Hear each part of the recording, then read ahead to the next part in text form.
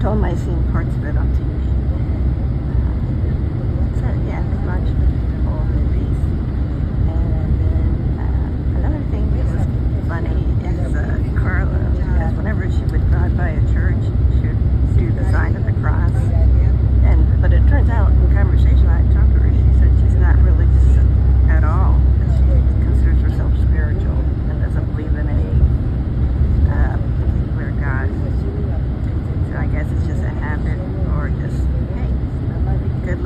来到这儿